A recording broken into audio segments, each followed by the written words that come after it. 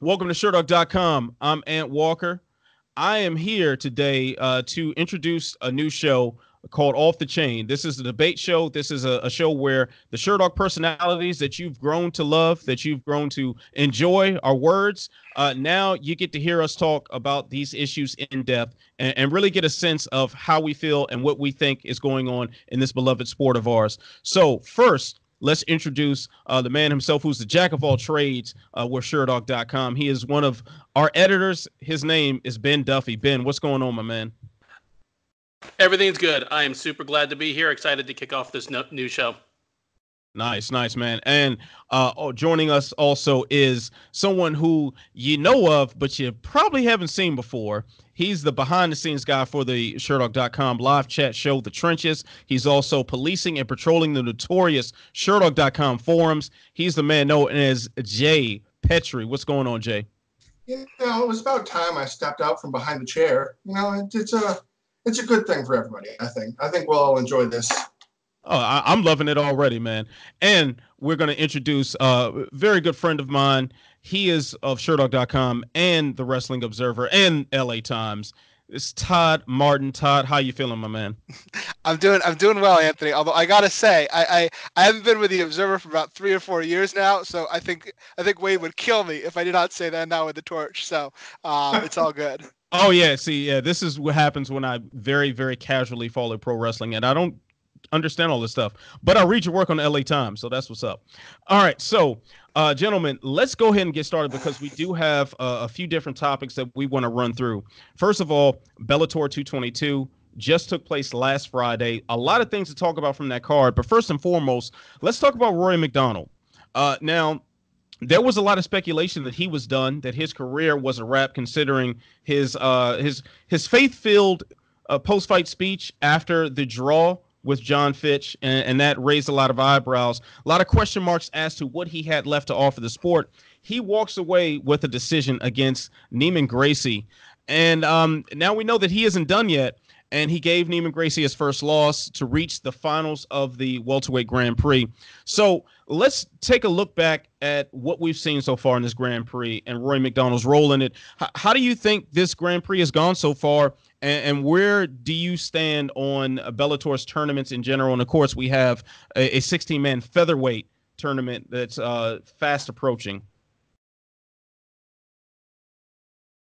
I'll start with you, Todd. Sure. Yeah. I mean, I think that I like the Bellator tournaments in general. I enjoy tournaments, and I think it's a little bit underserved as a uh, as a niche in MMA because UFC really doesn't do them at all. So I think it's it's good to try to sort of find angles that you can you can get at when you're another organization um, that that aren't you know being occupied by the UFC. Uh, as far as this particular tournament, welterweight tournament, um, I don't think it's been, been a big success for Bellator in that before the tournament, the last title fight they had was between Douglas Lima and Rory MacDonald.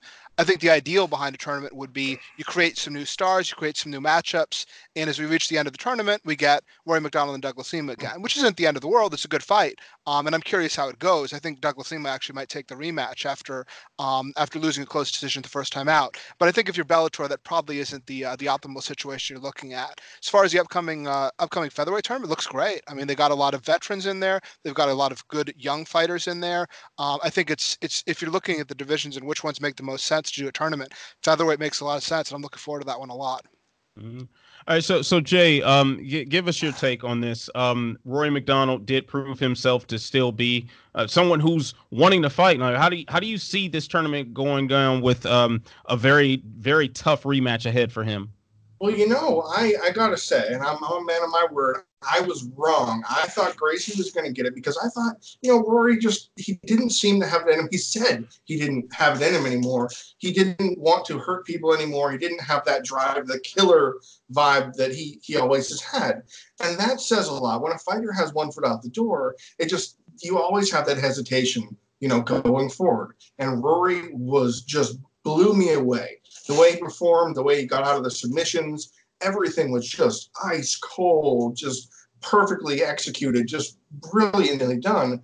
But he's got a buzz on of him now coming forward. He's got to fight Lima again. And if you remember, he couldn't walk out of the cage last time they fought. It was a really close decision. I, I don't know. I, you could almost flip a coin on the first the first one the way it went. But this one, I don't know. I just I think the way Lima is firing, I think this is everything. This is everything he needs to get to be champion for what is it, the fourth time, fifth time? I don't know. I can't keep track anymore. They keep round robining, but uh, it's it's it's a weird situation Bellator is in with these tournaments when they have the guys they're kind of expecting are going to win win, and then they stop and go, okay, now what do we do? And I think they're kind of in that situation. I'm hoping featherweight goes differently. I'm hoping that they put a lot of names in the pot and really mix it up.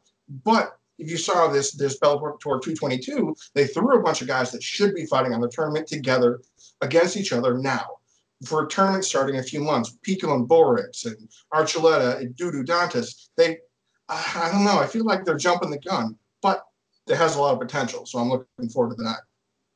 All right, so Ben, let me let me get your take on this because I, I want to know if I'm standing on an island uh, uh, in this this uh, hot take of mine. So I was encouraged by what Rory MacDonald pulled off. I think he he did a lot of good things as far as the positional awareness. He he was a monster on submission defense that I, that I think should not be understated at all. Like just fantastic submission defense. But as Jay said, kind of uh, they're seeming that he's lacking the killer instinct. Like what, so Ben, what, what are you thinking? Is this is is this going to be the the undoing of him against Lima?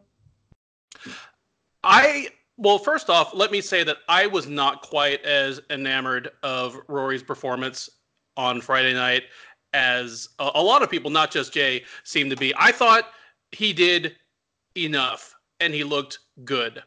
You know, uh, he he didn't blow me away. He didn't look amazing. The only thing that really stood out to me in a positive way was how completely fearless he was of spending extended amounts of time in Neiman Gracie's wheelhouse. That was like being completely unafraid of Neiman Gracie uh, on the ground was definitely an impressive thing.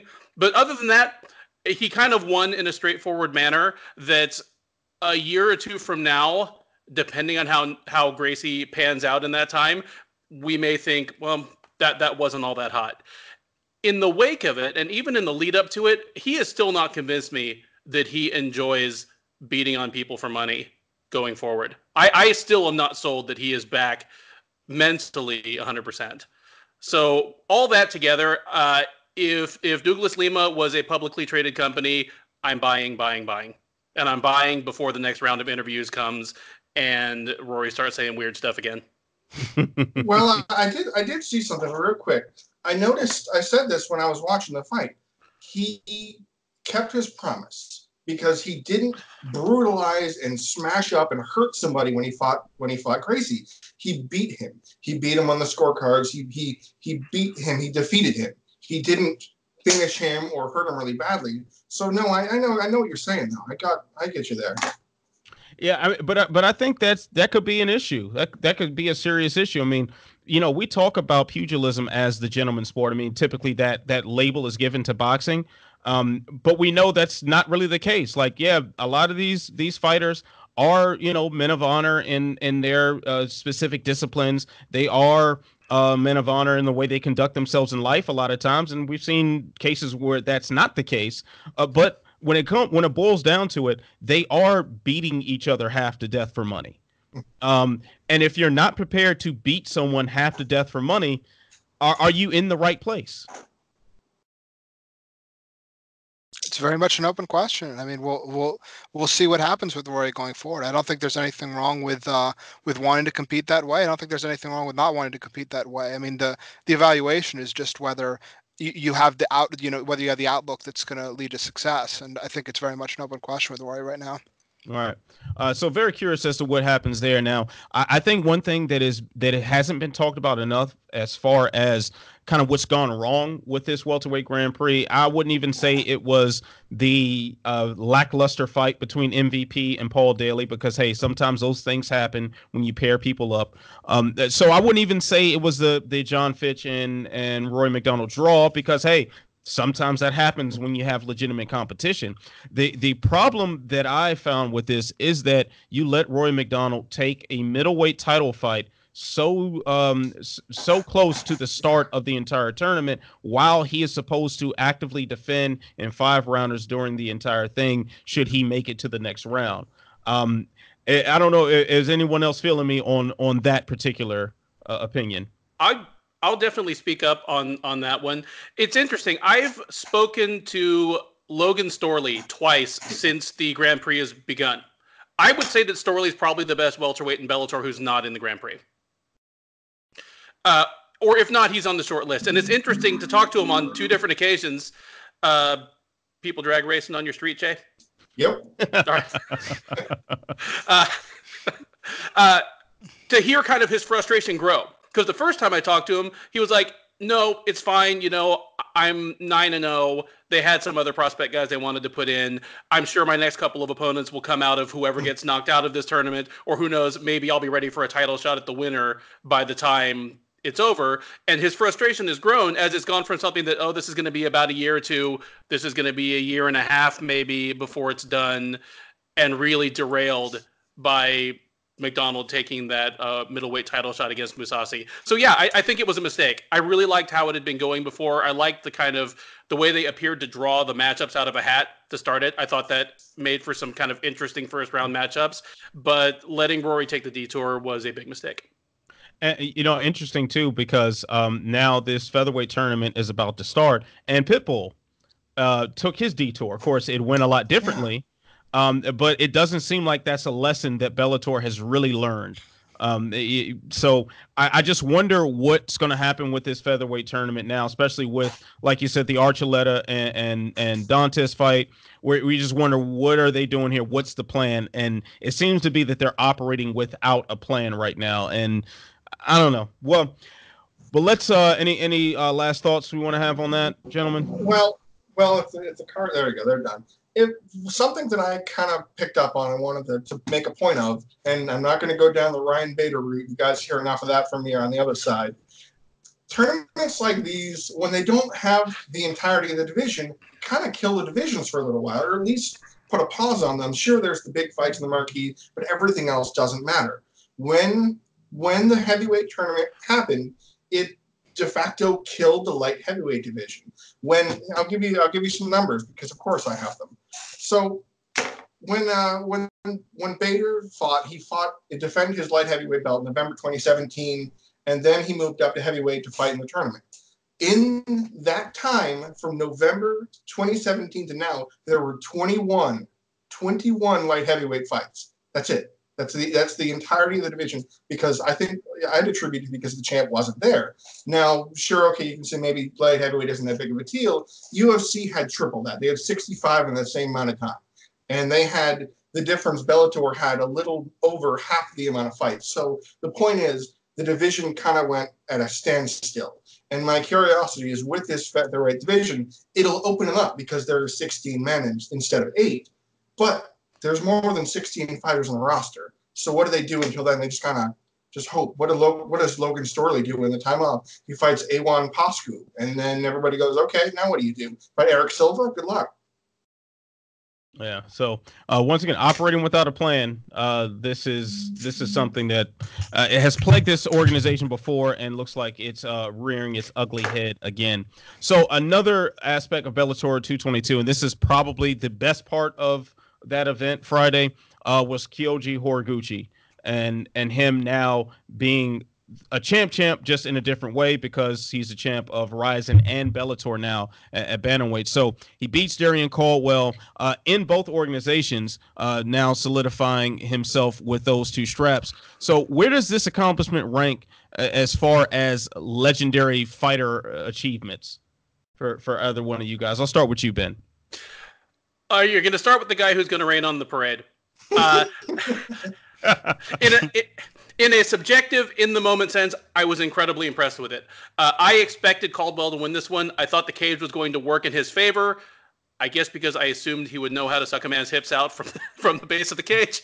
but but uh, so I was very impressed with the actual feat. I'm not ready to call this a pound for pound accomplishment on on Horiguchi's part, mostly because I mean he has been undefeated in two weight divisions for a long time since losing that fight to Demetrious Johnson. But if you look at the level of competition he's faced, I mean, who's who were his best wins at flyweight before or after Johnson? I would say Ali Bagautinov and Hiromasa Kubo twice. and both of the, those guys are borderline top ten uh, flyweights at best. Who's his best win at bantamweight? It's Caldwell, Caldwell, twice, and Caldwell is a borderline top 10 135er. So I mean, he has done a very impressive thing because in a sport as unpredictable as this, it's hard to stay undefeated for a long time. Weird stuff happens, and no weird stuff has happened to him, but it has not been against the murderer's row. I mean, I have a guy I know here in town, name of Colin Wright. He holds uh, belts in two division or in two promotions. He is the uh, Fury Fighting Championships 145 pound champ, and just across the border in Louisiana, he is the AKA American Combat Alliance 145 pound champ it is not a pound for pound accomplishment based on the level of competition he has faced. And I'm not saying it's the same for Horiguchi, but if there's a continuum, Horiguchi is between my boy Colin and, you know, say somebody like Henry Cejudo right now. So I, am not ready to call it like a, a, a historic thing other than being only the second guy to be a sitting champ in two different promotions. Yeah, so and I, t- hmm? I only know that because of Jay, so I, I can't like I don't want to steal his thunder. I, I got that from Jay. All right, Todd. So so give give us your your thoughts here. Where where do you think this ranks as far as uh, achievements in the sport? Yeah, luckily the uh, people won't have to put away their umbrellas because the rain is, is continuing on the parade. Uh, I mean, legendary legendary accomplishments is a is a high bar. I mean, I, I don't think it's you know I don't think it's something we're going to be talking about years from now. And I mean, he beat the same person for um, you know for the, the biggest achievement in, in each of his organizations. Um, with that said, I mean, I think I may be a little bit higher than Ben in terms of his um, his his resume as a pound for pound fighter. In that, yes, I mean, you're right that the level of competition isn't as high as, as some of the people you would consider there, but he also has a lot more wins accumulated and a lot fewer losses than a lot of the people he's going to be up against there. I think when you look at his resume, it's a it's a pretty darn impressive resume in terms of the diversity of places that he's fought, the diversity of people that he's fought, and the ability that he's, he's been able to keep winning in those places. So I, I think I think there's a lot to be said for um, the greatness of, of Kyoji Horiguchi. Um, but I, I, don't think winning the, the Bellator and, and Rizin titles is a particularly all-timey credential in his favor. Mm-hmm. All right, Jay, what say you? You know, I, I, I was hot cake city when that happened because it was just such an unusual thing to happen to have not only have cross promotional work but then have the champ go over and win it. There haven't been that many guys to, to even try, and and I don't know if that should get in the way because it just the opportunity didn't present itself. But I think I mean he is kind of a a victim, I guess is the best word, of opportunity because of the Horiguchi or because of the Coker Sakakibara relationship to get that going.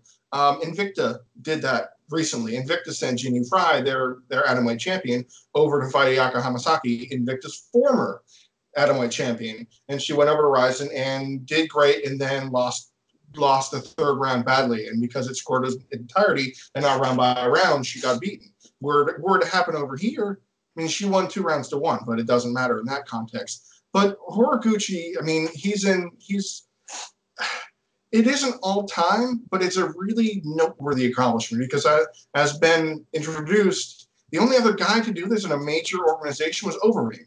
When he was a Strikeforce heavyweight champ, he went over to Dream to kill Todd Duffy in 15 seconds with a knee that kind of almost retired him, basically, um, and won the Dream belt and then fought in the Strikeforce tournament, and then that whole thing happened.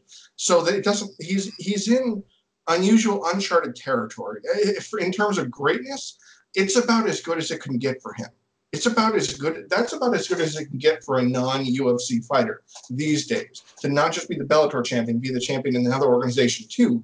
But you know, when you look at like the PFL champions, if they fought somewhere else, would you put them on the same page as a, as Fedor and his private run, as Cerrone and all of his wins? No, just because, as you said, the level of competition, it just can't be there, and that's a shame for him. But he's done everything he could along the way to get there. Just you know, beat Mighty Mouse. And I mean, if I may, the funny thing is, I mean, you know, I, I jumped into this question and kind of denigrated his accomplishment. If anything, I rate Horiguchi, in my opinion, as a fighter, higher than what he's shown. Like, I think there's a possibility that Horiguchi is the best flyweight in the world right now, and we just don't know it and aren't able to prove it. I would love to see him fight Cejudo, and I'd love to see him fight Demetrious Johnson again. I mean, I think there's a good t- chance he, he beats either or both of those guys, but based on what he's done, it's hard to come out and say that conclusively. So just just lest anyone think I hate Gooch. so, so before the, chance, the uh, the booze come raining down on Duffy, you're you're backing out. I, I see. Um, so I, I think one thing that I mean, of course, this has been heavily talked about, but in the context of the accomplishment, it's very difficult to separate the cross promotional value of this. And that's and, and and to jay's point i mean i think that's what's the most important thing here to have someone who uh, legitimately proved that he was the best at that weight class in two different organizations says a whole lot. And then and i think from a business standpoint there is there is something um something great about that because this is think about the ufc and pride couldn't even do this. You know they couldn't put this together for a variety of reasons. So to see uh, two promotions that are considered lower tier to the to the UFC uh, by a lot of folks this accomplishment means a lot in that sense. Now, from a competitive standpoint, I think I'm somewhere in the middle um, uh, of all you guys. I'm I'm high on it because I think so highly of of uh, Horiguchi as well. Uh, but he still hasn't faced the the upper echelon of names but he's done away with everyone in such ridiculous fashion that weren't the upper echelon of names. We got to start talking about him in those conversations i think. All right. He, he might he might get the chance. One one in Rizin. You never know if they might start talking. And then if if money mouse wins that tournament hey they can meet again. All right. And and that's the case. He won't even have to cut weight uh, no, a, a, big thing too is like I don't know that I necessarily value like the multiple promotions as, as much as as maybe some of you guys do, but I think that the reason you would argue in favor of that is the idea that there are attributes about the different organizations that are different and, and achieving success in one of them is different than achieving success in another. We've seen a lot of Japanese fighters have a lot of success in Japan, then go over to the UFC and not do that well. And Horiguchi really broke broke the mold in the opposite direction in terms of doing very well in the UFC, leaving of his own accord with a, a you know a really impressive record there. And there aren't a lot of people that have done that. Had success in the in the ring in Japan um, against you know the competition there, then to come over to the states and do very well in the octagon as well. I think I think that's something that may be more difficult than people give credit for. Um, but it's hard to judge because that's something we've seen more in one direction. People coming from um, the the ring in other direction uh, in other promotions to the to the cage in the UFC. Not a lot of uh, high end UFC fighters going to fight elsewhere while they're still at the top of their game, with the exception of you know Chuck back in the day and and Rico and people like that. Yeah, good, good, very good points there, and that's that's an aspect of this that probably is the least talked about. You know, to have that level of success with the different rule sets, which greatly, greatly changes the game. Uh, even just the scoring system can greatly change the strategy. So, uh, yeah, good stuff there, Todd. All right, so uh, let's let's uh, move on to the other um, big happening. One of the other big happenings for Bellator 222. Of course, this was after the fact. Um, so when the the event was over, Scott Coker announced that the last emperor, Fedor Emelianenko, isn't in fact retired after all. Um, he signed a multi-fight deal in sort of a, a, farewell tour, and the possibility of Josh Barnett or Rampage Jackson as opponents was floated. Uh, what are your thoughts on us not actually seeing the last of the last emperor? you know, I have such mixed emotions about this because Coker and Fedor have their relationship going back to the Strikeforce days. He kind of pulled them out of there. But do we really need to see Affliction Trilogy re- redux? Because the last time it happened, Barnett killed the company. Quite literally, Josh Barnett tested positive for anabolic steroids, and as a result, they had to cancel the event and the entire promotion went. I'm sure there's more behind the scenes that went down, but the point is, the last time this happened, it was about the worst thing. You think Tony tripping on a cable is bad? Oh, buddy.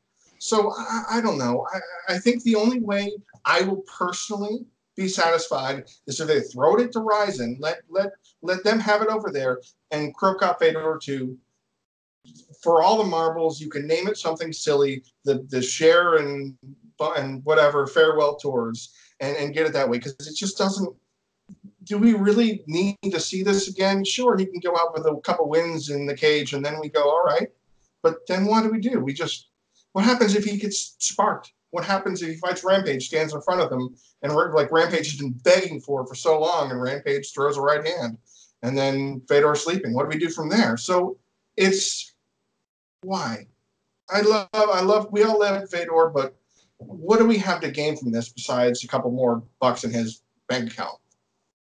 Yeah, I, I just don't see the value in this. It just doesn't make any sense to me. I mean, he's not the Rolling Stones. Like, why is he going on on a farewell tour? It just doesn't make much sense to me. Um, and, and then also, you, you just it's like when when does it end? when is is a retirement actually a retirement now he has every right to compete as long as as long as he's physically able to walk into the cage and make that decision on his own knock yourself out but at what point do we stop considering this high level mixed martial arts is the question i think i'm i'm, I'm starting to feel uh, a little bj penn right now i, I don't know if is, is anyone else feeling me on that ben you feeling me on that it's not quite to the Penn level uh, but certainly it's trending in that direction. I'm glad at least that they're explicitly saying that this is a farewell tour. Uh, I'll say this. I mean, I've always been of the opinion that fighters do not owe us a legacy. They owe their families the best uh, living they can earn for them and the best physical and mental state that they can be in for them after they retire. That that's that's what they're there for. If, if I derive any entertainment out of it, then it's a synergistic relationship. But fighters do not owe us legacy, and whatever they do after their prime, I can stop watching. Penn is actually the first guy to make me start rethinking that. For like, like, dude, I, I can't ignore this, and, and and you're you're you're ruining my early 30s. So please, like, please stop. I don't think Fedor's there. I, I can ignore this. I if he fights in Japan for you know, uh, you know, 1.5 million yen and, and all the horse steroids, that's fine. you know, I'll I'll enjoy it uh, just keep him among the other 40 something sets and we're fine. You know, let him fight in low stakes fights with other guys that are kind of on the same kind of farewell tour, whether it's called that or not. Like Rampage is just here to pick up a couple more checks. He's been here to pick up a couple more checks for about seven years now. uh, I, I, knew I, I knew it was going that way when I saw him at a press conference, and it became obvious he did not know the weight class the fight was in that he was fighting in like four weeks. Uh, it probably just didn't matter at that point either. It it. So he wasn't I, making 205, I'm sure. No, so I I'm not against it. You know, Fedor can do what he wants. I, I will check in if I feel like it. Just don't put him in front of anybody that's going to really hurt him. All right. Uh, so so Todd, any any thoughts on this? I'll say this: I hope that Fedor isn't fighting in in Japan for 1.5 million yen, because that is, by today's translation, thirteen thousand eight hundred thirty-seven dollars and eighty-eight cents. So that's a that's a pretty brutal payday for uh, for my man if you were to do that. But yeah, I, I I think largely similar to you guys. I think I think the best argument in favor of uh, of of arguing against fighters not continuing. And I, am uncomfortable with that argument, as, as it sounds like you guys are as well, just because it's their lives, you know, it's their livelihood. You know, let them do whatever they want. I, I think that the, the to, to make the best argument possible, I think the argument is not about legacy, but about their safety and their well-being. And I think it's fair for fighters to think, look, you know, uh, putting aside like how we view their their legacy, we want them to be healthy when they're older. We don't want them to deal with brain issues. And if we speaking out as fans can make it less likely that they're going to do that and hurt themselves in the long run, maybe that's maybe that's a, a laudable goal. I think that's the best argument for it. I still lean towards let them do what they want. As far as this in particular, doesn't hold a lot of appeal for me, honestly.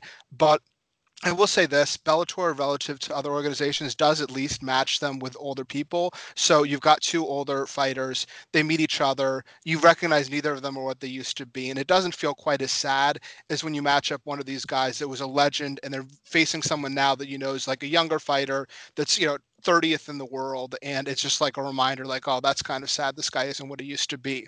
As far as like because you brought this up as well anthony the the the, the wisdom of doing this whether there's that much interest for it from a promotional standpoint i mean that's the big balance for bellator and coker. I think he's gambled the wrong way but i get why he's gone the way he does. The argument in favor of this is when you bring in these older names you can draw better than you can with the people that are that aren't as well known. And we've seen with coker you know the the biggest uh, the biggest uh, ratings that he's gotten is through more freak show fights with mm-hmm. people that really shouldn't be there. Um, in the uh, in the cage anymore.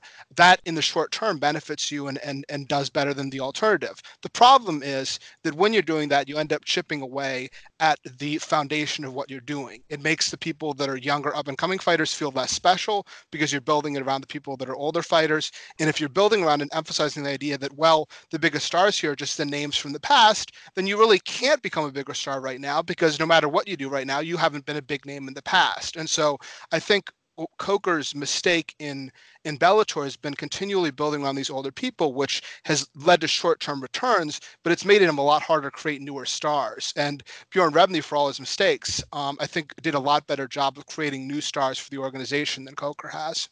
Yeah, excellent points there. Um, yeah, so I, I guess it, when you're looking at it in that context, like, yeah, Fedor isn't going to rematch Ryan Bader or anything crazy like that. Um, we're we're not going to see him against any any young killers, so that's a good thing. But you know, I guess the the senior cir- the senior circuit has to continue in, in, some way, shape, or form.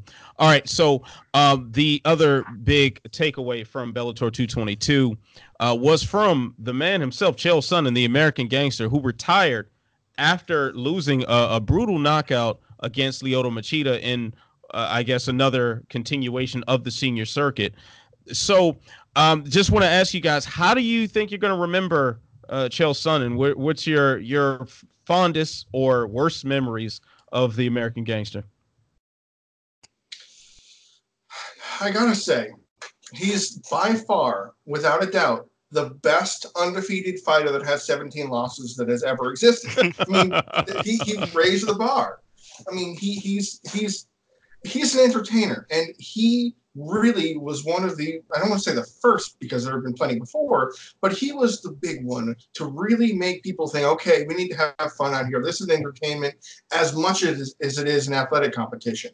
If I lose, if I win, it doesn't matter because he gained more fans most of the time in losses than in wins. When he was a toe away from beating Jon Jones, he raised his level just a little higher. The Anderson Silva, both of those fights he was, you know, he beat Nate Marquardt, which was a, a great fight to, to get that shot, but he put himself on the map with the loss. That's something that doesn't happen very often. Alexander Gustafsson is about the only other big name I can think of that puts their name on the map with a with a, an emphatic loss. But I mean, he he was in my heart, he'll always be the, the final WEC champion because he beat Paulo Filho, who was the champion, but he missed weight by seven pounds and he was speaking to something in the cage with him when they were fighting. We, we don't know what that was. Um, but if, if he's the, the best, then Jeremy Horn has to be right here because Jeremy Horn beat him three times.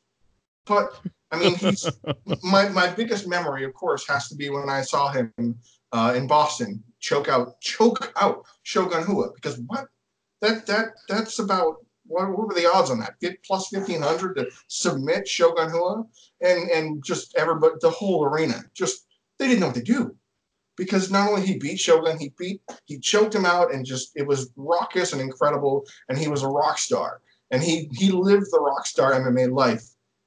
But it takes a lot of energy to be a rock star, so you know. I'm happy with I'm happy with the way things went in his career. I hate you so bad right now. All right, Ben, uh, share share your your Chael and memories. I'm sorry, was that to me? Yes. You know what? I I, have the feeling that that you know if this retirement does stick, hmm. there will be a lot of people who try to either dismiss or exalt Chael Sonnen just by hanging one single word around his neck. I mean, whether that is like legend or cheater or game changer or criminal or troll or or consummate entertainer, whatever it is, they're wrong. I mean, he he is too complex a fighter and he leaves too complex a legacy in the sport uh, to to be encapsulated by by one word. I mean, on paper, he was a very good fighter who was in the right place at the right time with the help of a lot of uh, exogenous testosterone. You know that got to you know two title shots. You know who might not have in any other era, any other place, any other time. But he made the most of his moment. He changed the sport more than all but a very small handful of fighters And all the other fighters in that handful are much more accomplished in a historical sense than he is. He changed the game on pure, really on pure moxie and, and want to. This guy was a quiet, dull wrestler in and out of the cage for about the first 20 fights of his career. I mean, raise your hand if you remember any Chael Sonnen fights from before he was Chael Sonnen. One, Uh, just the maybe. Paulo Filho fights. That's it. I, I, I mean, well, yeah, WEC Chael. He was just another dude. He won some fights, he lost some fights, and he was a, a pretty bland interview. I mean, he he changed himself and changed the game through pure force of will. It's going to be a hell of a legacy, and we'll be talking about it for a long time, whether you love or hate him. Yeah, definitely agree. Todd, what about you? I mean, it's been fun to experience his career, and as we see sort of the end of some of these people's careers, it's it, it's fun to look back as having been able to take in some of that. Because I mean, I was there, you know, cage side in the first row for that Paulo Filho fight. That was so weird watching Filho, you know, freak out. And this guy that I mean, people forget, but I mean, he was undefeated. You know, he was thought to be the best guy in that division, and it was just such a a strange fight. I remember going to his his athletic commission hearing in, in California, and he brought this entourage of like family members and friends. And after they didn't get the answer they wanted, they were, you know, down in the lobby cutting promos on the athletic commission. It was a it was a bizarre scene and and a lot of a lot of fun to be uh, fun to be had. But to me, like Chael Sonnen's career comes down to the the first Anderson Silva fight because you can you can very well separate everything that came before it, leading up to that, and everything coming after that, stemming out of that. I mean, this was a guy, as as Ben alluded to, that had a career that was not particularly notable, um, didn't particularly stand out. I mean, he was a solid veteran, but he wasn't somebody that people knew. And then he he got the the the revelation in his head around the time of the Yushin Okami fight. Hey, if I start talking myself up, I can get noticed here. And he talked and he talked and he talked and he talked. And he got this guy who was this legend, you know, one of the greatest fighters of all time. And, and he badmouthed him. He said he was gonna, you know, it was gonna be a one one-sided ass whipping. He was binging the hammer. Um, and he talked people into believing in in the idea of this fight. He talked me into believing it. I wasn't going to attend that fight. About two weeks out, I was like, "Hell with this," and put in a late credential of, of, uh, uh, uh, application and drove from Los Angeles to Oakland to see Chael Sonnen fight Anderson Silva um, on on short notice. I mean, the the he he made you believe that this was going to be a big event, and then to me that that fight stands out as one of the legendary fights. I think that you know we still see you know these documentaries about various fights in, in boxing in particular. You know you'll have more documentaries about about about ali and frazier you know going back you know constantly bringing these things back tyson and, and buster douglas. I am convinced that in, in 20 years from now you're going to be having people putting together documentaries on the anderson Ch- silva chael sonnen fight showing those promos of all those things that anderson silva that chael sonnen was saying to build up that fight for a new generation that hadn't seen any of that. And then this fight that's so dramatic this guy that goes in there he was you know whatever five to one six to one underdog. People aren't giving him a chance to win this fight. He goes in there and he takes it to anderson silva takes him down pounds him out. He's dominating this fight. It- you know I, i'm you know i'm thinking okay this fight's over i'm mentally processing what does it mean that chael sonnen has done this to anderson silva what does that mean for anderson's legacy what does that mean for chael's legacy and then because MMA is a great sport where it can turn at any moment. Anderson throws up that triangle, catches Chael, and it's all over. And it, it, legacy from then on was completely changed, and Anderson's legacy was completely different after that because of what happened in that fight. It was a career-defining performance, not only in terms of what it reflected about the way that Chael, what Chael brought to the table in terms of the showmanship, but also in terms of what his ultimate legacy was, which is this guy that came so close and fell short against a guy that came that, that was the, the great enduring champion of, of, of that generation. Uh, yeah, I, I my personal uh, memories of Chael Sonnen. Uh, so that fight, UFC 117, I was bartending at a at a sports bar in the DC area, and we showed all the UFC pay per views. And I remember uh, they knew to put me on the service bar because I don't want to talk DC to any misses customers. you, by the way, Anthony. Oh, hey, I got, I, I, I got to come back. I'm, I'm gonna come back soon, man. We're gonna hang out, and, and like, I'm, I'm, I'm at the service bar, like, not really doing my job because I'm busy watching this fight. And this was a regular thing during UFC events, but I was really not doing my job, and I really didn't care.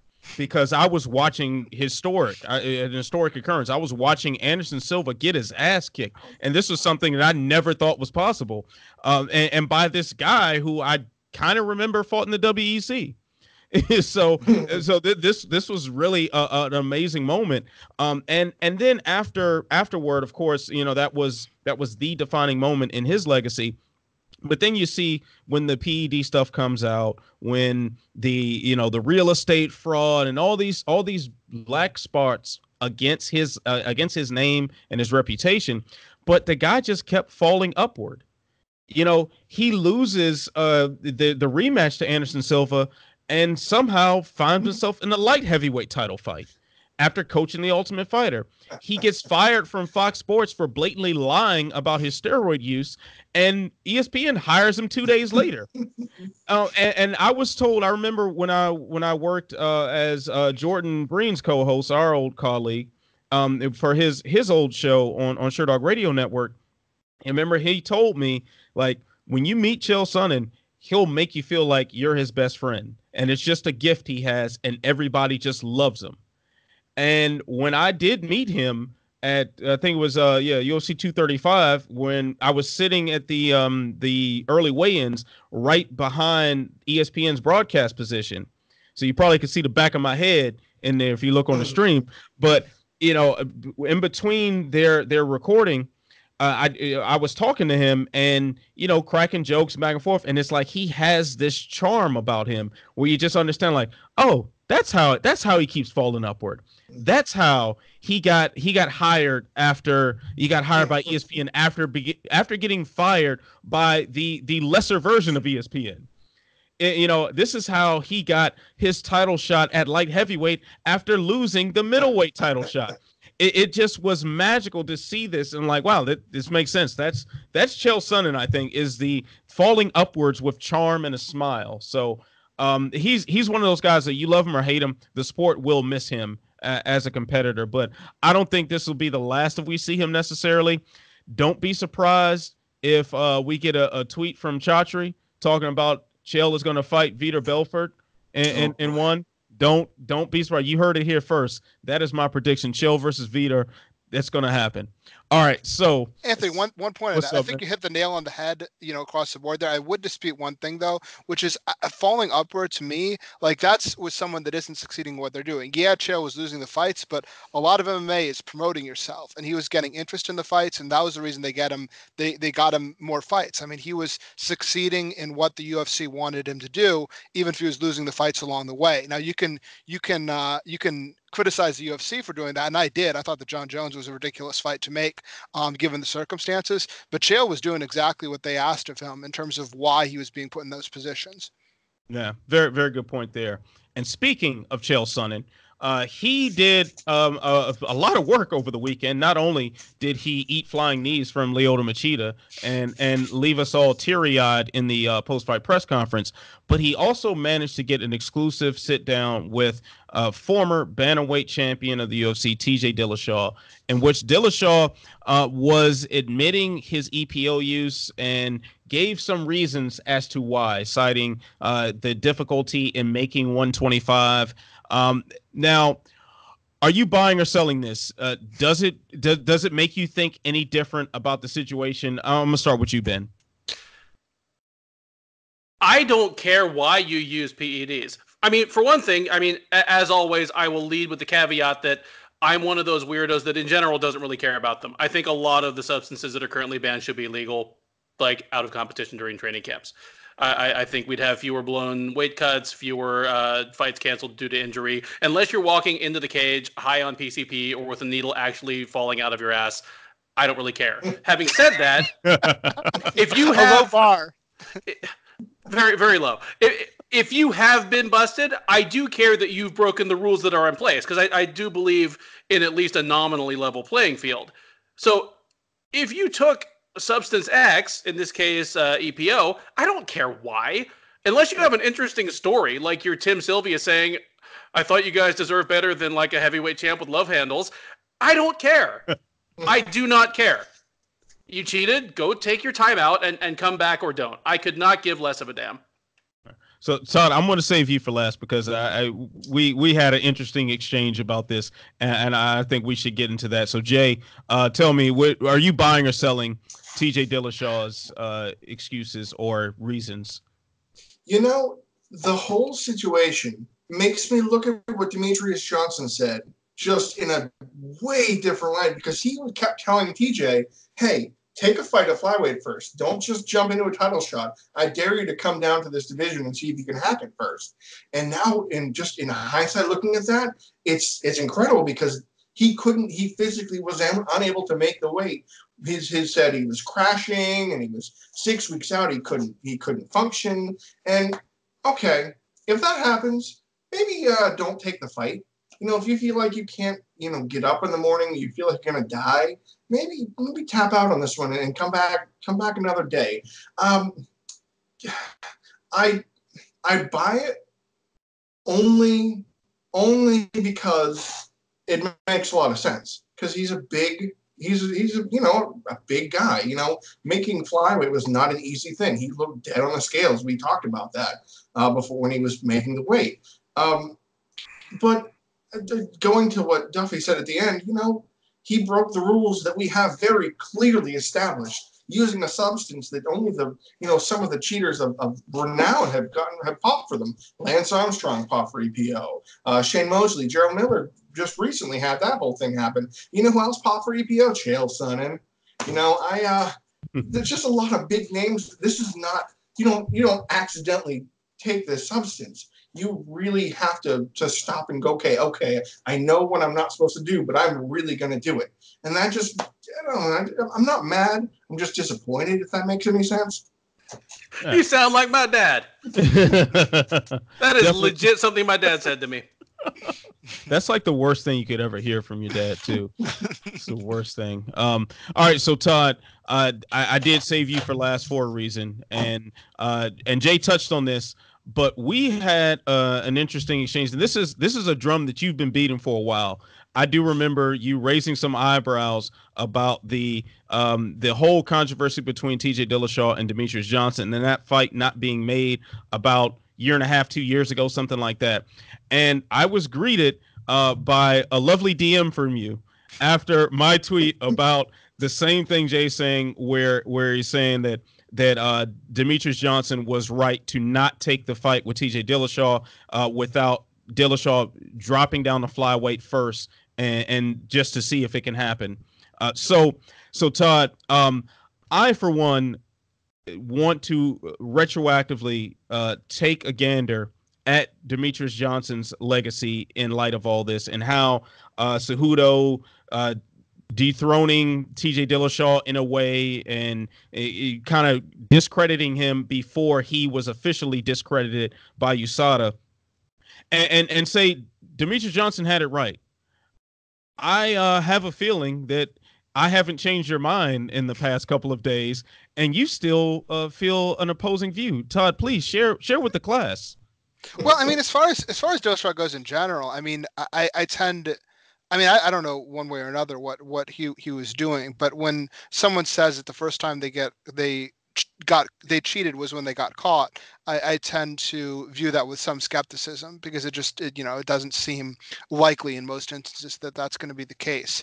Um, as far as uh, as far as Dillashaw and, and Johnson goes, I mean, if Johnson's argument was I don't want to fight this guy because I think he's a cheater, um, then I think it would have more pertinence to uh, to to the uh, to the conversation. But as far as um, as far as him needing something to make the cut, as I mentioned to you, I mean, Dillashaw has fought something like 15 fights in the UFC before that. He made weight every time. He made weight afterwards when when cutting to lower weight. And the guy that Johnson elected to fight instead was a guy that had missed weight something like five uh, uh missed weight five seven times. That'd be really bad. Um, had, had only made weight something like five seven times before, and had you know made weight one of two times after. So if the argument was centered on the idea that I don't think this guy's clean and, and that's why I don't want to fight him, then I think the argument would would stand out more than if the argument is uh, I don't want to fight him because I don't think he's going to make weight because again he made weight every time before he made it after and the guy that he ended up fighting instead um, is you know yeah exactly is is, is made weight about as uh, as poorly as anyone in, in UFC history.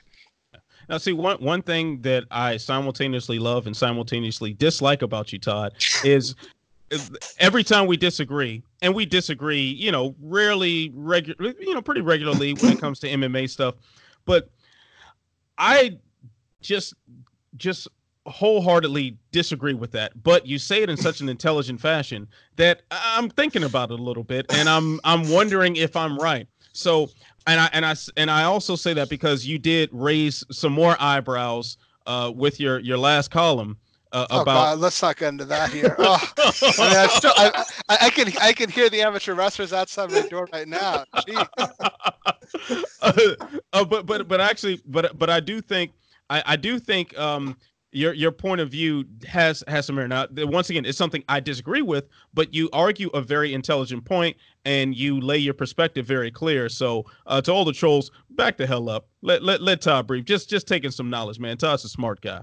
So I'll just say this: we won't we won't we won't belabor the belabor the point here. But the one the one frustrating thing about about that whole thing is that clearly the thing that we're ta- that people were taking issue with what I wrote was the idea that I was somehow trying to disrespect the sport of wrestling, and nothing could be farther from the truth. And when you sort of go out of your way to make it clear that that's not what you're doing, and it's clear people haven't read it and they still draw the conclusion that that you were, it, it can be it can be frustrating. Um, you know, because I mean. I, ultimately this is just sort of a hobby. I'm you know putting out my ideas here. I enjoy engagement. I enjoy you know encouraging people to think about things and to think and, you know to challenge their you know their thoughts. I don't think you know putting out an opinion that everyone else is putting out is going to often be that engaging unless you you know put it in a particularly interesting way. So getting people to think differently i find engaging and interesting. Um, but uh, unfortunately in our you know in, in, sports culture there's so many examples of people that are, are trying to um, get people angry for the purposes of just getting cheap hits on whatever they're doing. And I think that's created a, a, a generalized skepticism about uh, independent thought in general that I think is, is kind of a bad thing when we talk about discourse. Yeah, wholeheartedly agree with that. This is one time we do agree. Uh, ben, what's Just up? Let me, let me throw in one last thought on the Dillashaw thing because, you know, Demetrious Johnson challenged him with drop down to 125, take a fight there for a show you can make the weight, and then look at the title shot. And it may just have been that DJ really wanted to say, and pass your drug test, and just was too much of a gentleman to do so. But Cody Garbrandt legit just called him out on the podium a year ago and said, You're taking EPO. I've been in camp with you. You're the guy that showed everybody at Team Alpha Male to use it a year ago. And he looks like Nostradamus right now. Yeah, I mean, let's let's talk about the Cody Garbrandt rebrand. You, you know, we're we're looking at him in a totally different light now. I'm just I'm gonna say, bantamweight is full of some prickly and dislikable personalities. It takes a lot to make Cody Garbrandt look like a good guy, but but like when you oh, fight, oh come no, on, read his fight, book. Come when on, you, when you fight, he, ha- he hasn't read his book when, when, you fight nobody but Dominick Cruz and TJ Dillashaw for like two years of your life, all of a sudden you look like an angel. oh man, and uh, just got back on good terms with Cody Garbrandt. So there we go. That's that's down the drain now. all right. All right. So um, we're gonna move on uh, from from that. Uh, we're gonna shift gears just a little bit. So the Tuesday Night Contender Series restarts I guess at, by the time people watch this later today. Uh, so, gentlemen, uh, tell me, like, how, how are you feeling about this organization? Are you are you uh, pumped to see season three? Uh, Jay, I'm gonna start with you.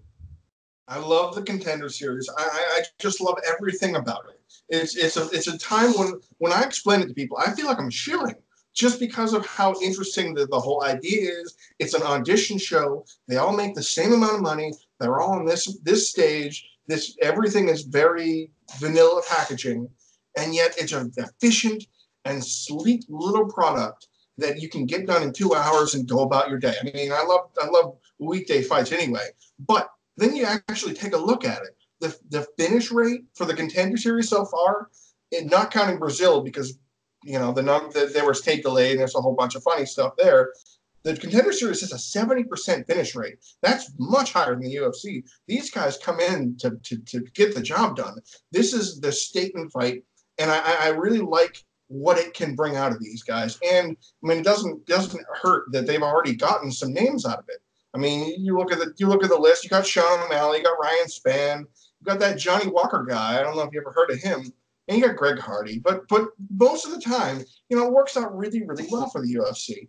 And, and I think this this this beats the pants off of the Ultimate Fighter. And everybody says this, and this has kind of been beating this drum for a while now. But this this should be the death knell of the Ultimate Fighter. This should be this should by far be the way to get in if you're not going to just be signed.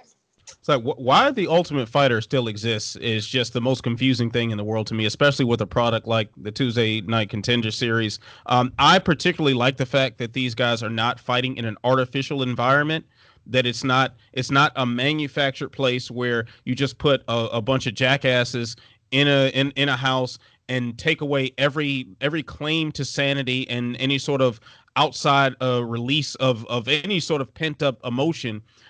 No family no magazines no television nothing and then you put them in a camp with guys who they don't train with the coaches they don't know and you just see what happens. I, I i don't like that. I like this format a lot and i like the um the the efficiency of of the product.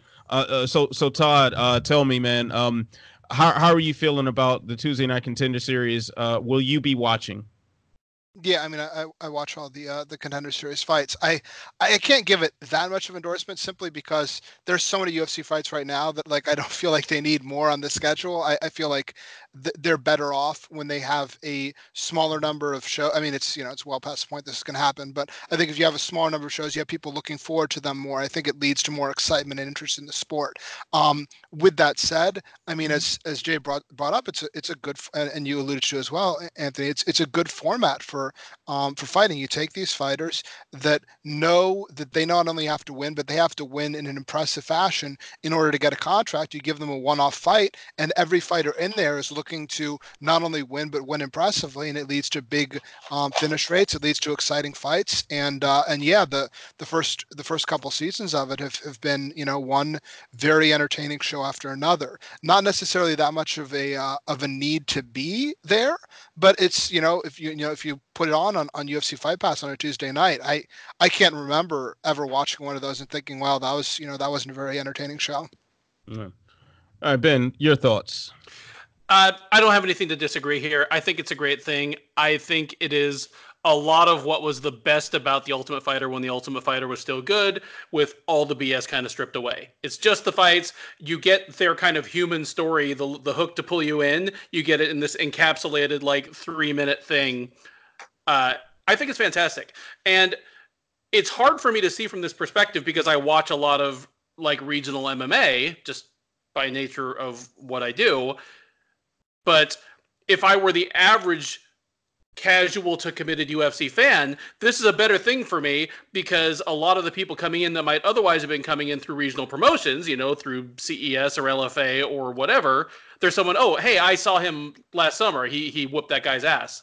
I, I'm excited. So it, it helps the UFC kind of bring its own minor league basically uh, into the spotlight a little bit, bit, which is great.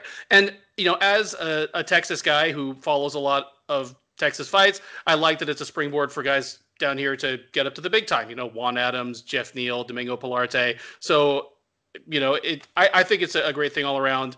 And any weeknight MMA is a good thing for me. Anytime that I'm having to pick and choose what I watch on the weekend, you know, that's a bad thing. Anytime that there's a contender series, PFL, Invicta on a weeknight that just gets my undivided attention, that's a beautiful thing.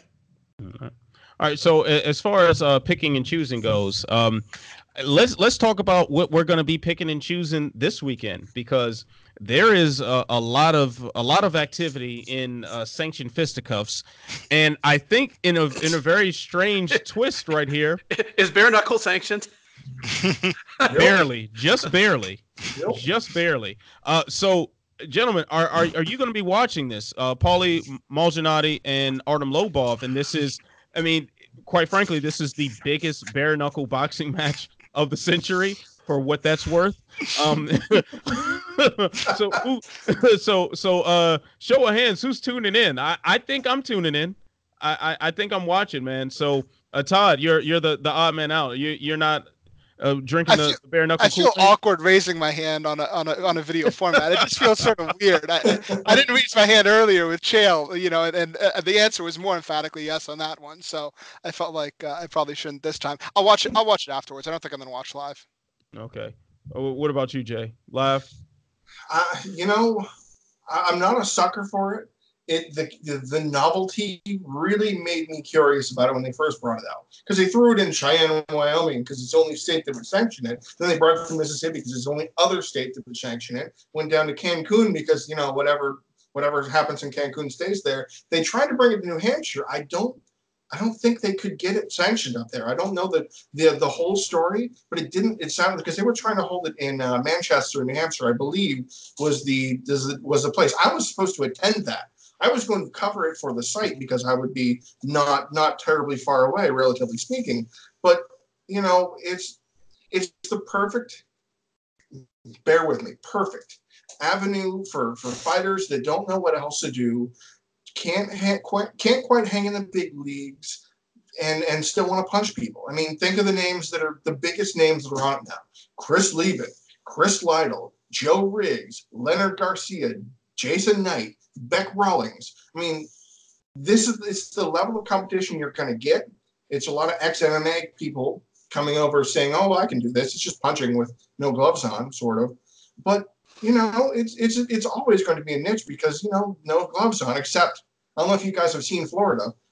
The the the hand will be gloved except for a little area right here where the knuckles will be uncovered. The rest of it will have a glove on because that's what the commission allowed them to do. So it is bare knuckle by the by the knuckles being exposed on the glove, but the rest of it is a glove. That's what's happening this weekend.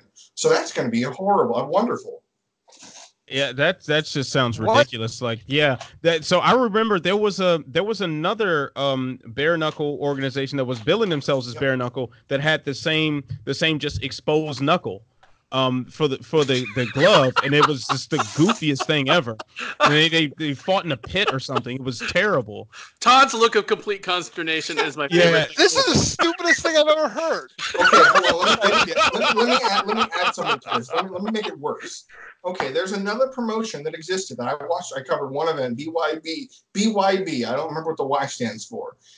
It is a trigon, a three-sided Oh. arena with a very Yeah. narrow place. That's It's- It's, Dada it's 5000. backyard brawls. That's Dada 5000's promotion. Yeah. Dada 5000 promotion. And he's in the ring yelling and shouting about guys. He's not fighting. No, no, no. He's just watching them bloody each other. But it has its I oh boy. The name the, the triangle is not equilateral. There is a small narrow portion at the end where you get trapped down. It's called the the death corner or the deadly corner or something. I can't make this kind of thing up. Oh, the Trigon.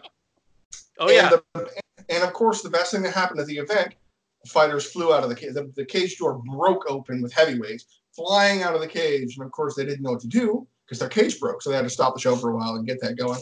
Yeah, so bare knuckle boxing is it's got a long way to go.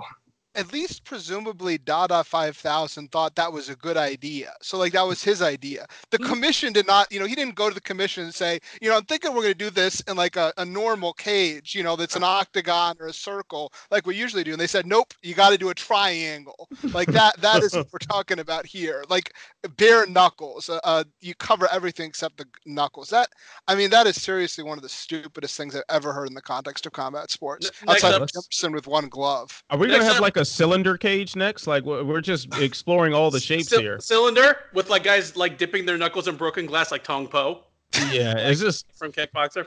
just pure lunacy. But but all right. So Ben, let me let me get your take on this. Um, I mean. W- Quite frankly, this is somewhat of an intriguing match, maybe for all the wrong reasons between Paulie and, and Artem. Um, No. and yeah, No. No.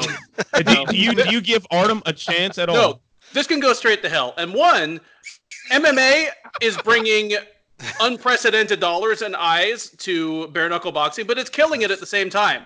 Before the MMA guys arrived, if you talk to somebody like the small niche that was into this, they were like, "This is the purest form of boxing. These guys, it's a martial art unto itself. They're they they're not as quick to punch the head and go head hunting because they might break their knuckles. So you see a lot more body work. So the guys that were actually doing bare knuckle boxing for a certain amount of time before it got onto MMA's radar, it really was a different sport. I mean, you you can take it or leave it. You may not have loved it, but it was an interesting and different thing. It, there was a lot more body work. Uh, then now it's just flooded with MMA or former MMA fighters who, in most cases, were not that great strikers for MMA and are on the downside of their careers. So all of a sudden, it's become exactly what bare knuckle boxing claimed it wasn't. It's just a bloody brawl where people are beating the shit out of each other and it's easier to cut the other guy. It sucks. And uh, Malignaggi is certainly the most accomplished boxer closest to his prime to step into this. Because my feel, and I know that you're a bit of a boxing head yourself, and but my feel from people that I interact with both in person and as the editor for a lot of our boxing material is that people who are into mainstream boxing think bare knuckle is weird and and want nothing to do with it.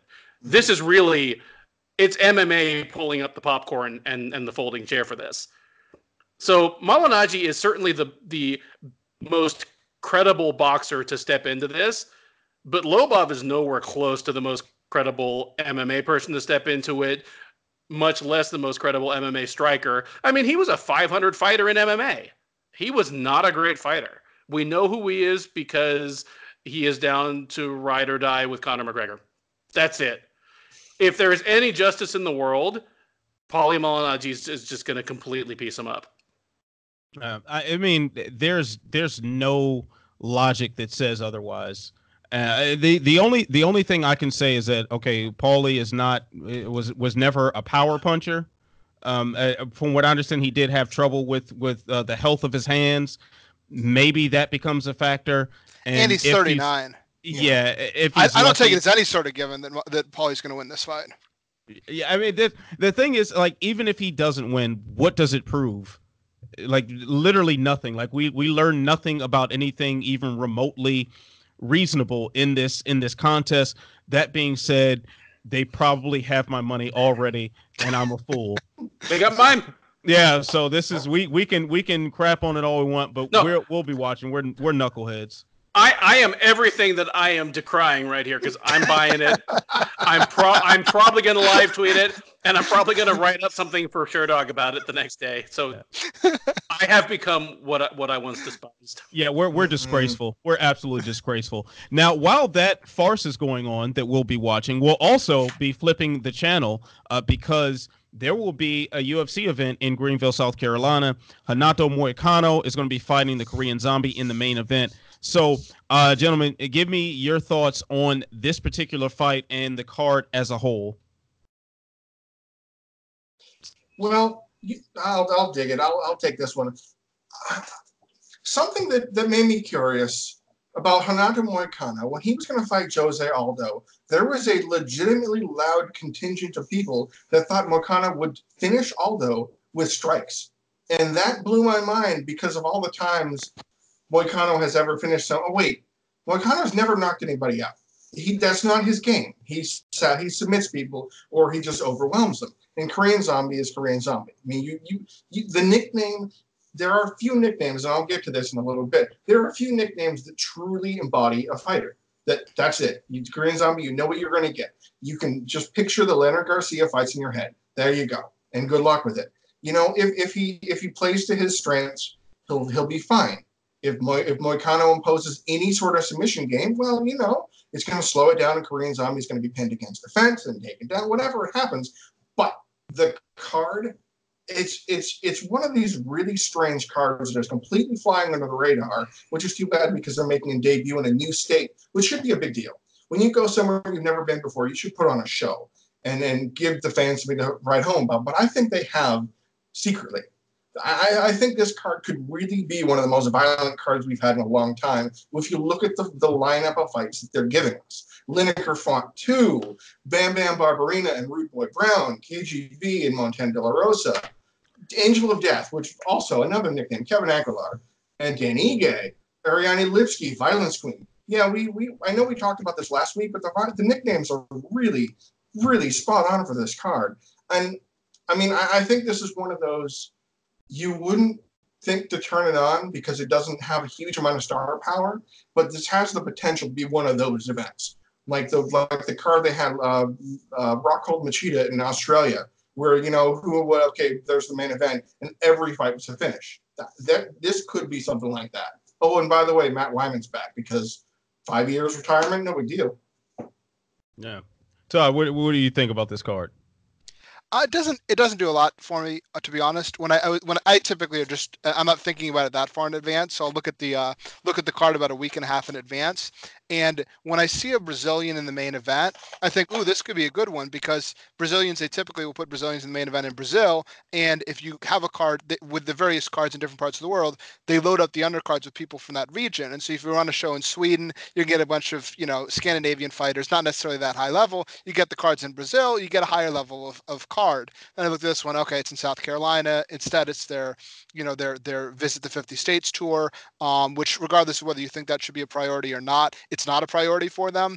And this card this card does not seem like a particularly high priority for them um, as far as the you know the the the marquee um, name value and in terms of the uh, the fighters they're they're putting on the card. With that said, I like the main event. You know, I think I think it should be a good test for both guys. And there's some there's some decent fights here, here and there. Um, it's you know, it's a card. It doesn't it doesn't particularly uh, jump at me in in, in a positive uh, fashion. I, I I I'd call it you know below average interest level for UFC this year. Mm-hmm. What about you, Ben? Uh, I lean a little closer to to uh, Jay than to Todd on this one. I think this is a pretty good encapsulation of what a just any other fight night card should be. I mean, there's not a whole lot in the way of top five guys or immediate title eliminators going on, but there are a lot of uh, there are a lot of matchups that are well thought out in terms of probably promising action and having divisional implications. I mean, even if it's not like the number three and four guy fighting for who gets the next title shot, you know, it's a number eight, number 12 person or two former contenders who are on the, on the back of a couple of, uh, of losses and one of them might be out of a job you know, like Yoder and Kondo or and Kondo, for example. So I, I do like it. I, I look forward to most of the fights on this card, and that's more than I can say for a lot of these. Uh, I'll I'll definitely be checking in for it.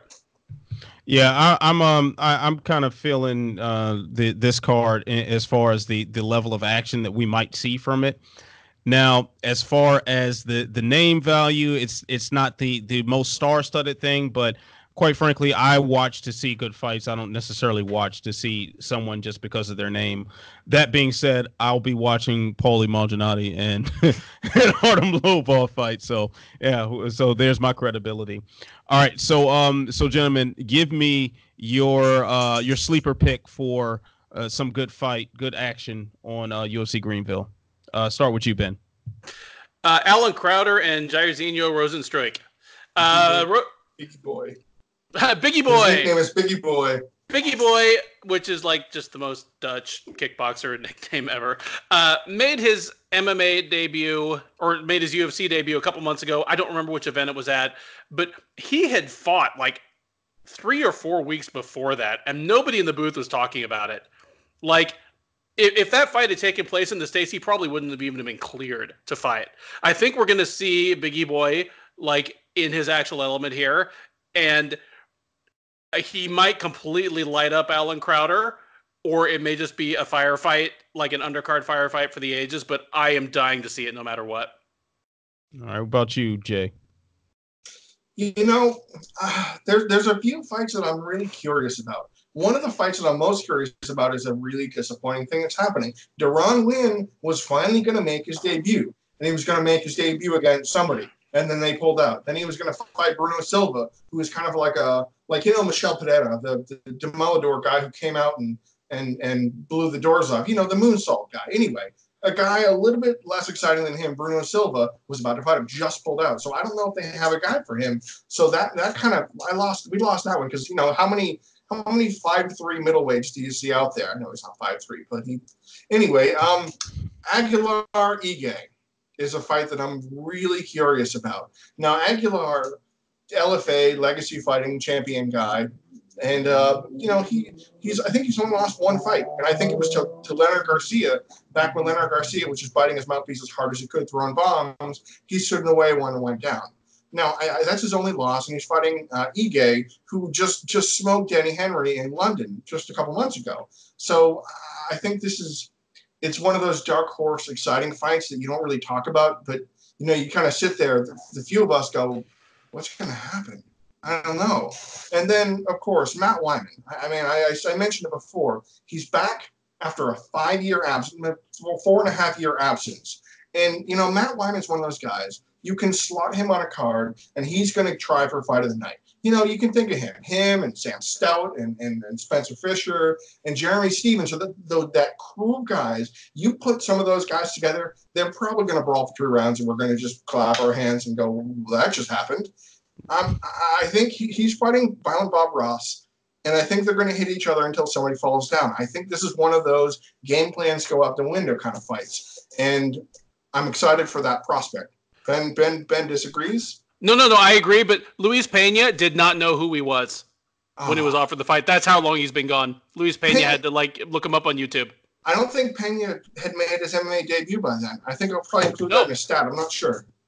Like you're seeing a bridge between eras right there, yeah. and I feel old as hell. Yeah, that was a, the surprise news of ever for handsome Matt Wiman to just suddenly reemerge. That just that was the unretirement out of nowhere uh, for me. So, so Todd, what are you looking forward to on this one? Yeah, he was always an entertaining fighter too. Um, I, have been impressed by Montana De La Rosa thus far in her UFC career. I mean, she's been uh, putting together a series of good performances. She's getting Andrea Lee, who's undefeated thus far in the UFC as well. I think it's a good fight for testing both in terms of uh, whether they can move into contendership status in that division. It may not be a, a barn burner of action relative to some of the other fights on the show, but I, am interested in the consequences of the fight. Yeah. All right, so I'm trying to take some of my, my personal bias out of this because I want to say Andre Ewell versus Anderson Dos Santos, mm-hmm. and I, have interviewed Ewell a couple times, and he's just solid cat. Really like that guy, uh, and I do think this is an interesting match. Um, it is a curtain jerker, but I but this is co- sort of a do or die thing for both gentlemen. They're both coming off of losses, and um, and Ewell in particular, he you know I I've have an interview with him that's that's dropping on on Sherdog later this week where he talks about how he's been really working his jujitsu in, in in preparation, and then also how you know that was kind of his downfall against Nathaniel Wood Uh, at, at UFC 232. So interesting stuff there. Other than that, yeah, I'll probably go Pena and, and Wiman because yeah, why why not? That's just such a culture clash. I'll take it. All right. So so gentlemen, I think that's gonna wrap things up for the inaugural episode of Off the Chain. So please let everyone know where they can find you, starting with you, Todd. Where can the people find Mr. Todd Martin? Um, yeah, the Twitter handle is uh, Todd Martin MMA, and uh, if you're a, a, wrestling fan, I encourage you to check out pwtorch.com, and uh, we do a weekly podcast there that's uh, a lot of fun. And my shirt Sherdog column goes up on uh, on Tuesday, so I've got a new one dropping uh, by the time you watch this uh, today on on Chael Sonnen and his legacy. Nice, nice. Jay, what about you, man? Well, I I don't know how many people know because I'm the guy I'm the guy in the chair. I'm not the guy in front of the camera. Uh, I write the, the, the series called Fight Facts, the statistics and, and information about all the events that happen, uh, every single one of them. And so you can catch one basically after any major event that happens. So you'll get one after Greenville. I doubt you're going to get one for Bare Knuckle. I'll be watching because I'm a sap. But there's just there's been six events, so there's not really much of statistical information. And you know these guys are oh, hey, a guy who's never fought in bare knuckle just beat a guy in 0 1 in bare knuckle. There's not the kind of information that to do that. So those are my my fight facts pieces will be out, and then otherwise uh, I'll be covering the event in some capacity, and then I'll just I'll be around. My uh, Twitter my Twitter handle is uh, my name Jay Pettry. Easy enough. All right. And what about you, Ben? Where can we find you? On Twitter, you can find me at at Benjamin Duffy. Not too hard. Uh, I write a lot of material for Sherdog. You can just go to the main page, open that little features drop down, and you'll find me underneath, well, Jay Pettry, Anthony Walker, and Todd Martin. Also, Eric Stinton. Where's Eric? When, when are we going to get Eric on one of these? But yeah, I mean, at Benjamin Duffy or uh, all over the site. And it's mostly what you hear here. All right, cool. So uh, I am Ant Walker. You can find me on Twitter at Ant Walker MMA. Uh, so I got a plenty of stuff coming out on Sherdog in the uh, next week, and also you can find uh, some of my work on MMA on Point. Got a couple of videos that just dropped uh, with freshly written scripts by your man. So check that out as well. Uh, but uh, this this is it for for off the chain. So please uh, like, subscribe, comment, do all that good stuff. Tell a friend to tell a friend, tell that friend to 10, 10 more friends. And you know what you got to do. You must stay beautiful. You must stay positive. And by all means, you have to stay sexy. I'll see you when I see you. Peace.